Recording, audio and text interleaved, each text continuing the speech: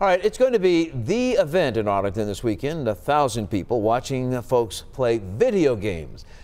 Now, does that sound weird? Well, if you ask the fans, it is the best type of entertainment. Here's Sebastian Robertson.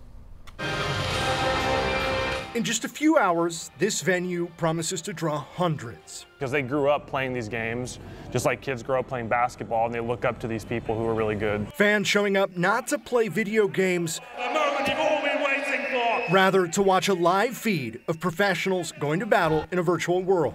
Esports Stadium in Arlington calls itself the largest dedicated esports facility in North America, a relatively new industry that's quickly gone mainstream. In fact, colleges across the country, even right here in North Texas, are offering scholarships to gamers, the same way they do for student athletes. You know, it's getting to the point where which colleges don't have a varsity program or at least looking into one. A sport that's proving lucrative for its top competitors.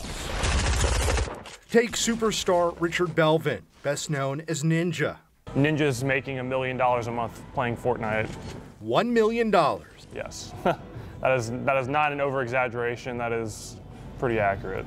You may not understand why or how, but that's okay. Jackson Hyde, a sixth grader who's a lifelong gamer, is here to clarify.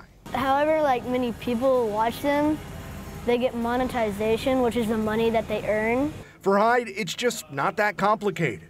It's a pretty easy career. Like, you just need to get a bunch of cameras set up, like what you're gonna do, and then just start broadcasting and then post it on the internet and a bunch of people will watch it and you'll get money from it. Makes perfect sense, right? In Arlington, I'm Sebastian Robertson.